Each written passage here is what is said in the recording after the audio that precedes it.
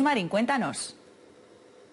Pues sí, en Carcabosa se ha llevado la mejor parte de este sorteo de Navidad de la Lotería Nacional. Se han vendido 22 décimos a través de la máquina expendedora del bar Ruta de la Plata del 5.721. Un quinto premio dotado cada uno, cada décimo, con 6.000 euros. De ese mismo número, del 5.721, se ha vendido otro décimo en la localidad de Moraleja. Y por otra parte, otro quinto premio que también ha caído en la provincia de Cáceres, concretamente en Aigal del 81.156. Los 6.000 euros en este caso han ido a parar a un afortunado de Santibáñez el Bajo.